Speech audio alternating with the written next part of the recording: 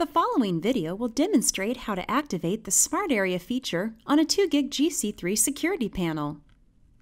The panel must have firmware version 3.2 in order to use the Smart Area feature. To enable the Smart Area feature, first press the 2GIG logo. Enter the installer code. Press System Configuration then press Panel Programming. Scroll to question 69 and then select question 69. Press Enable.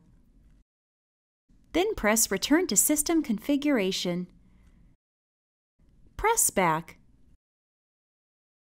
Then press the back arrow. Finally, press Save. You'll notice the Smart Areas button is now located at the bottom of the home screen. The Smart Area feature is now enabled on your GC3 panel.